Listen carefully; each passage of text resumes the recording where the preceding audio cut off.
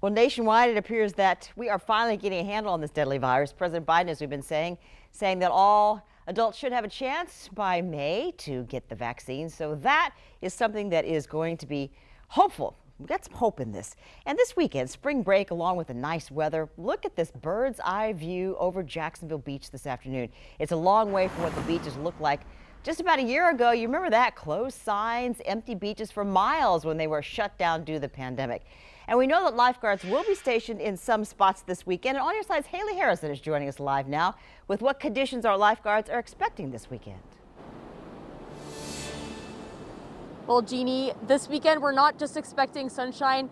You know, Chris Porter, he has a pretty good assignment today at TPC, but I don't know if he has the best assignment because if you take a look around, people are enjoying the perfect beach weather today, taking full advantage. But the crowds this weekend are expected to grow with spring break and TPC, making social distancing more difficult. Jacksonville Beach Ocean Rescue will have at least four lifeguard towers up, and other guards will be patrolling in vehicles. Captain Rob Emahiser says to keep six feet of space between groups and make sure to stay with your kids at all times so they don't get lost.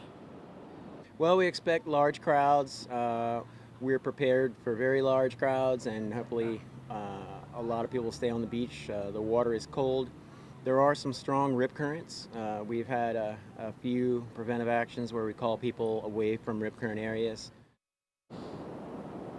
Emahiser encourages beachgoers who want to swim to check the conditions before and swim near an on-duty lifeguard. He also tells me that most of his EMTs and even some of his lifeguards have already received the COVID-19 vaccine. Now, he hopes soon that they can all receive the COVID-19 vaccine because as the beaches get more crowded, we'll be interacting with more and more people. Live in Jacksonville Beach, I'm Haley Harrison, First Coast News, on your side. It looks beautiful out there. Thank you, Haley. And a quick